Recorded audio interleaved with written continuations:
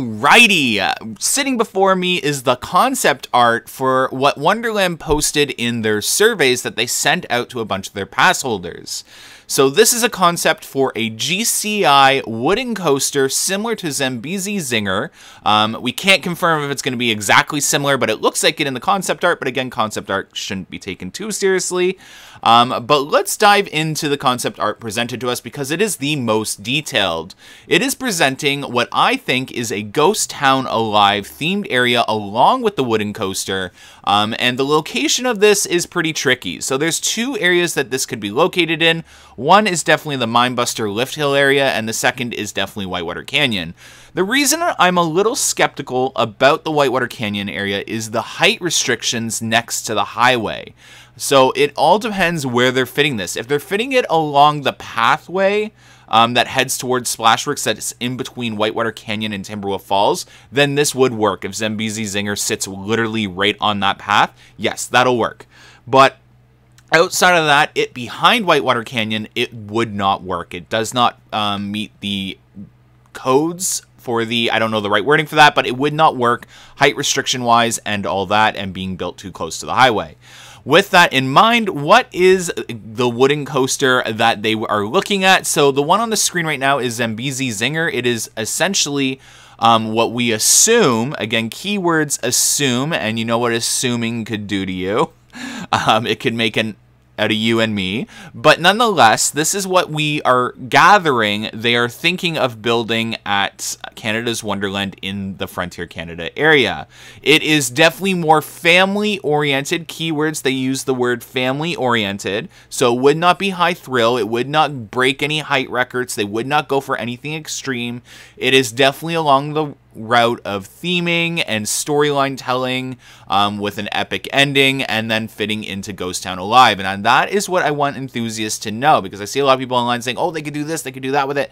They aren't going to think too outside the box with this specific investment outside of the ending. It does sound like they'll do something pretty cool, cooler than, I know a lot of people are like, oh, it's just going to be Mystic Timbers ending. No, I don't, I don't suspect that at all, actually. Cedar Fair has stepped up their game. I think it would do a lot um, more cooler things. Very similar with screen-based and like air pistons and smoke and stuff like that, maybe. But um, definitely a little elevated. I'm thinking more like the Dollywood Fire Chaser Express with the firework thing. Um, but nonetheless, um, I'm pretty excited. They, these GCI, even though they're family coasters, are really high intense. And I'm going to put one on the screen with my reaction right now for you guys to see a raw reaction.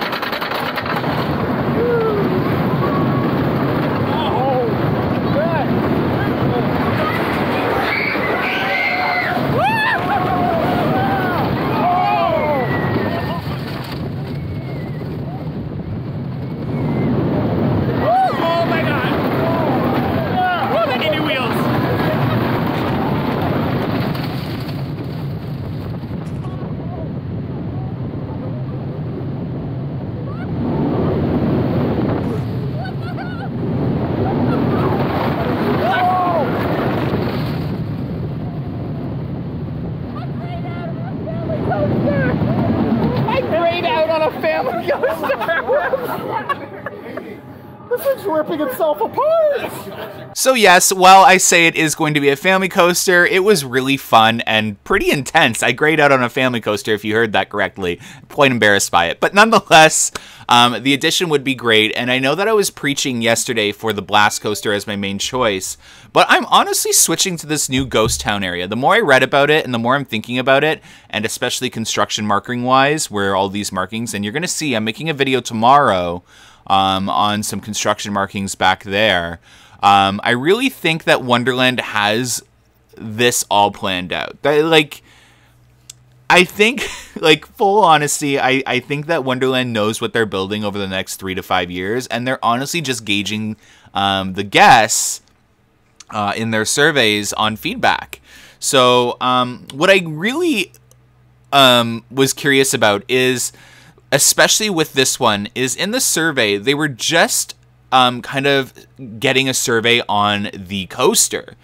and not the area as a whole, but they had the area as a whole designed with this coaster.